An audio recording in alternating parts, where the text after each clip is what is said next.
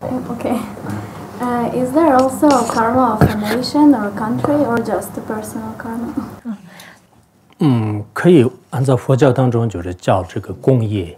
呃，就刚才不是我讲有一个地方好多人都让前会议前世和世，我听说泰国的一个地方呢也让这个会议很多的前世。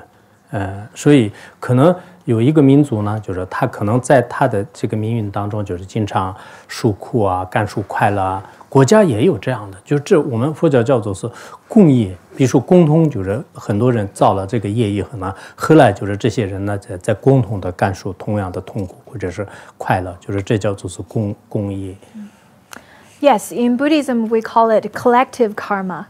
So in the, uh, for example, the the story that I told in such ethnic, in Tong ethnic in China, uh, people tend to remember their past lives more. Uh, it is the same for uh, there's a, a, a region in Thailand. People in that region remembers their past lives easier. Um, therefore, uh, it, it shows that people who um, who have different ethnics may share a collective, the same kind of collective um, collective karma. Um, some of the ethnics or nations may suffer more, may enjoy more. That is also because of the collective karma that uh, is um, uh, produced by this certain group of people.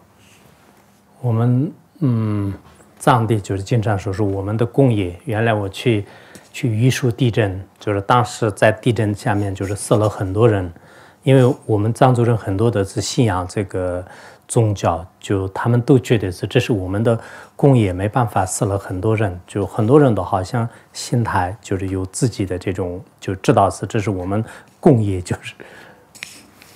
Uh, in Tibet, we really believe in that uh, collective karma.